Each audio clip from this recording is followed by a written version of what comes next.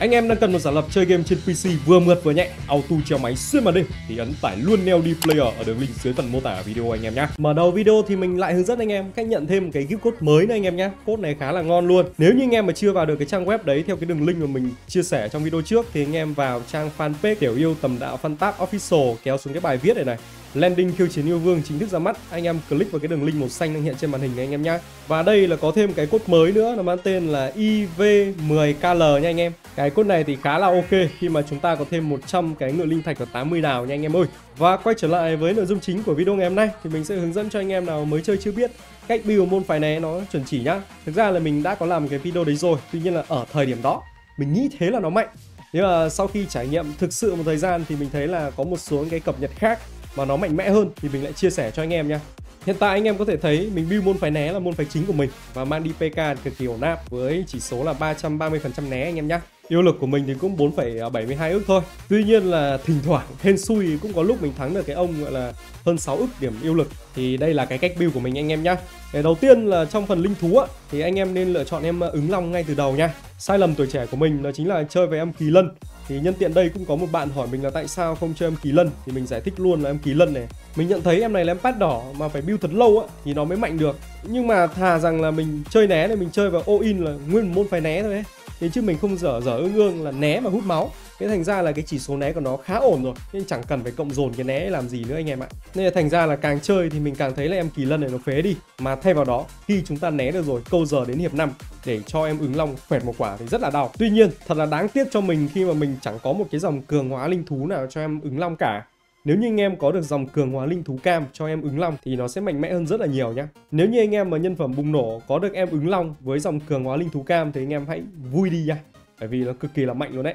Còn sử dụng em pet đồng hành cho em ứng long thì ở thời điểm hiện tại thì mình thấy em huyền vũ đang hợp beta bởi vì nó có khả năng hồi máu rất khủng khiếp.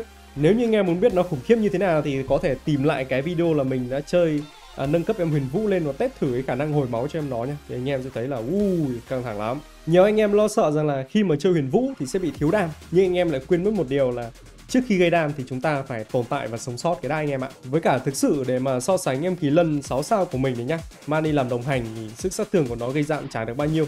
Trong khi đó em huyền vũ này chẳng cần phải nâng cấp nhiều. Đó, chỉ cần 3 sao thôi nhưng mà nó hồi máu nó cực kỳ khủng khiếp rồi. Còn lại cái phần gây sát thương thì anh em cứ để cho ứng lòng lo nha anh em. Tinh quái thì mình thấy chỉ cần liễu đạo chân là đủ dành cho môn phái né rồi. Nhưng mà khi mà chúng ta đi PK thì chúng ta cần phải kẹp thêm em uh, tiểu long nữ. À, Nếu như anh em mà có đại sơn yêu đây nữa thì anh em sẽ vứt vào. Thì sẽ tạo nên bộ đôi giảm sát thương cực kỳ là khỏe cùng với cả tiểu long nữ nhé à, Hồi máu thì đủ rồi, chỉ cần liễu đạo chân thôi. Thực ra ở đây anh em có thể suy nghĩ và cân nhắc đến cái vị trí thủy quan đại đế. Nhưng mình đã test thử nhiều lần rồi Nếu như đánh ngang cơ thì thủy quan đại đế nó còn ok. Chứ còn nếu như đánh vượt lực chiến hơn một chút ạ thì chúng ta nên à, để ý đến em Sơn Giã Tinh là một và thứ hai nữa là em à, Đại Sơn Yêu thì nó sẽ có lợi thế hơn. Bởi vì thường là những ông hơn yêu lực của mình á, thì cái lượng đam chay nó gây ra khá là cao nếu như kết hợp với cái khả năng giảm sát thương cuối. Tiểu Long nữ mà mạnh mẽ lên nha à, nếu như mà skill bậc 3, bậc 4, bậc 5 á, thì cái phần trăm này nó sẽ tăng lên tức là khi HP lần đầu dưới 40, 50, 60 phần trăm chẳng hạn thì nó đã kích hoạt được cái lượng giảm sát thương này rồi. Thì khi mà kích hoạt được giảm sát thương sớm á, kết hợp với cả em Đại Sơn Yêu thì sẽ rất là tuyệt vời.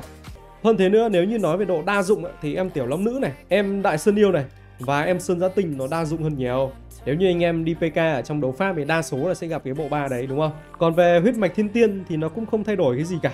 Chúng ta vẫn all in vào huyết mạch câu trần thôi anh em nhé còn về cái à, dòng phụ là kháng ấy, thì anh em có thể lấy cái dòng kháng choáng nếu như server của anh em chơi quá nhiều choáng. Bởi vì là dù là né đi chăng nữa thì mình vẫn sợ choáng anh em ạ. Rồi cái địch nó lại đeo thêm cái vật cưỡi là kháng né. Rồi lại cái dòng phụ của nó nữa phun vào kháng né nữa thì đúng là hơi sợ choáng một tí anh em nhá tuy nhiên nếu như server của anh em mà chơi lại nhiều né, thì anh em lại nên cân nhắc vào cái dòng nhạy bén. Bởi vì môn phe né là chúng ta sẽ chơi ứng lòng mà mà ứng lòng là cùng 5 hiệp được đánh. Nhưng nếu như hiệp 5 mình được đánh trước, mình sẽ có lợi thế hơn. Nếu như mà anh em muốn xem là cái việc là nhạy bén nó quan trọng như thế nào đối với em ứng long á, thì anh em có thể xem cái video ở trên màn hình này nhá. Về bộ thần thông thì mình có điều chỉnh một chút so với cái video lần trước bởi vì khi mà đi PK rất nhiều trận ạ thì mình thấy đúng là cái kim cang bất hoại này nó sẽ rất là có lợi luôn. Kết hợp với cả hai cái ấn ký giảm sát thương cuối này rất là mạnh anh em nhé đây là có 71% đối với ấn ký phẩm tím rồi. Thêm một cái ấn ký phẩm lam đây nữa thôi là mình đã có 12,3% kết hợp với cả tiểu long nữ kết hợp với cả đại sơn yêu. Cái kim cang bất hoại này thì nó thực sự là mạnh khi mà chúng ta đi PK người với người anh em ạ. À, thêm vào đấy nữa mình sẽ lấy thêm cái giải thi pháp bởi vì có cái khả năng hồi sinh hồi sinh đến từ thần thông thì sẽ không bị khắc chế bởi những cái hiệu quả đóng băng. Nên là mình sẽ ưu tiên là dùng giải thi pháp nha anh em. Dù là anh em có con tinh quái cũng có thể là hồi sinh được, nhưng mà thà để một slot tinh quái đấy, để chúng ta lấy một em tinh quái khác nó xịn xò con bò bổ trợ tốt hơn cho môn phái. Còn đâu ở trong thần thông này chúng ta lấy giải thi pháp, vừa được hồi sinh không lo bị khắc chế bởi đóng băng. Và anh em lưu ý là kể cả anh em có cái giải thi pháp bậc 1 đi chăng nữa, thì anh em cứ cho vào nha, không vấn đề gì, mình vẫn chơi giải thi pháp bậc 1 vẫn ok là tiếp theo nữa, một cái thần thông mà chúng ta đi PK cực khỏe, đó chính là cái thực hồn chú. Cái thực hồn chú này thì nó sẽ giúp cho anh em có cái khả năng đánh, khiến kẻ địch bị trừ đi cái điểm yêu khí. Không thể nào mà sử dụng nộ được. Nộ của cái yêu khí là nó sẽ sử dụng cái skill của cái tầng này này anh em này. Đấy, tầng 4 đấy. Ân ký ở đây thì anh em có thể đeo thêm là cái cường hóa thuộc tính chiến đấu hai viên, cho nó chất chơi người rơi nhá. Tăng cái khả năng né của mình lên, khiến cho kẻ địch nó kháng nó cũng chả thấm anh em ạ. Và tầng 4 thì tất nhiên là chúng ta nên ưu tiên một cái hồi máu rồi kim quang hộ thể giúp cho chúng ta có cái khả năng là hồi phục cao. Hồi phục cao thì đánh càng đánh né lại, hồi phục tiếp. Nên là không lo anh em nhá. Chủ yếu là cứ né được, hồi máu được, thì câu giờ cho ứng long đánh là ok môn phái này là đánh là phải câu giờ, thế cho nên là những cái hiệu quả nào mà liên quan đến hồi máu này, liên quan đến phòng thủ, giảm sát thương các thứ, anh em cứ phệt vào cho mình. Và đây chắc chắn là chúng ta phải dùng cái ân ký là hai viên cường hóa linh thú rồi. Bởi vì là chúng ta đánh bằng à, ứng long mà nếu như kẻ địch mà nó chơi suy yếu linh thú thì càng phải chơi cường hóa linh thú nữa để bù lại anh em nhá. Đây là bộ thần thông tối ưu nhất để cho anh em có thể đi à, PK người với người nó rất là khỏe, đánh đấu pháp đấy. Còn nếu như anh em muốn đi mạo hiểm, đánh với cả mấy con quái trong này này, thì sẽ có một số những cái thần thông khác nó hiệu quả hơn. Thì anh em có thể xài nhá, bởi vì là bọn quái nó đâu cần ờ, là mình phải dùng thực hồn chú đâu, đúng không? Thì anh em có thể dùng cái à, chói thần. Cái này thì cũng được ưa chuộng rất là nhiều khi mà chúng ta đi đánh dị thú xâm lược với môn phái liên bạo nữa và cái thứ hai chúng ta đi ải nhá chúng ta cũng ăn trộm công của đối phương. Thường là ở bot ở trong ải ấy, cái chỉ số công của nó cao vãi trưởng luôn nên là mình ăn trộm của nó 3,2% công thôi cộng dồn tối đa 5 lần tức là 15 16% công. Là nó cũng là một con số khủng khiếp ấy. Ờ, giúp cho chúng ta có nhiều đam hơn. Thì ờ, cộng vào với cả cái khả năng gây đam của ứng long nữa thì nó sẽ mạnh mẽ hơn anh em nhá. Thêm vào đó đi vượt ải cái tầng này này môn phái nào cũng thế. Chúng ta nên lựa chọn một cái thần thông phẩm lục này thôi. Đó chính là mình đồng ra sắt cái này là khi bắt đầu chiến đấu là được tăng 14% giảm sát thương cuối. Và anh em thấy là cái này nó rất là dễ nâng. À, trong lúc mà chúng ta quay thần thông ờ, tỷ lệ nó xuất hiện nhiều thì cái bậc của nó cao cái phần trăm này nó cộng lên càng nhiều.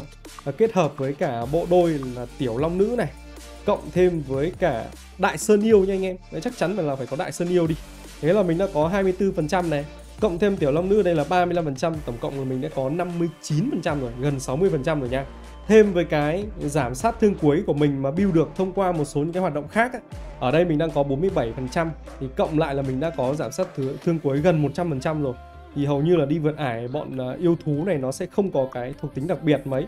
Đây này, làm gì có tăng sát thương cuối gì đâu. Nếu như nó không tăng được sát thương cuối lên ạ mà mình lại giảm sát thương cuối của nó đi cả 100% thì chắc chắn là bọn nó đánh mình sẽ không hề thấm nha anh em.